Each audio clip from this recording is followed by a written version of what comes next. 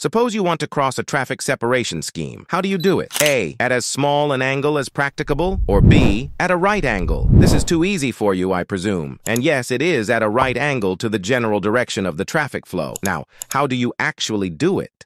And what if there's a current? Would you cross like A, compensate for drift and stay at your right angle course, or B, stay at a right angle heading and ignore the drift? A lot of seafarers are still confused about this, so save this video for your future reference, and if you'd like to learn more reel by reel, follow me. Now, Let's read Colreg first. Rule 10 says a vessel shall, so far as practicable, avoid crossing traffic lanes, but if obliged to do so, shall cross on a heading as nearly as practicable at right angles to the general direction of traffic flow. So yes, option B is correct. But why? This is because if you compensate for your drift, then you might alter course, which could confuse the other ships about your intention. Listen to this radio call from the Singapore Strait.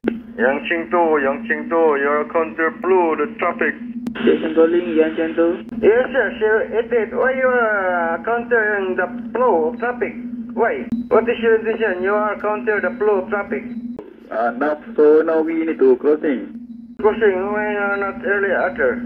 Okay, copy. We try to crossing. So to avoid that, Colreg says cross at a right angle heading. Other than that, when you cross at a right angle heading, you'll be able to cross faster, saving time from disrupting the flow of traffic. Now, what about the drift? This is where your skill as a navigator comes in. Before you cross, take note of the current and its direction, and compensate for that possible drift prior to crossing the TSS, so you'll end up at your destination. I'm currently making a detailed guide for each rule. You may subscribe to my YouTube channel so you'll get notified once they are posted.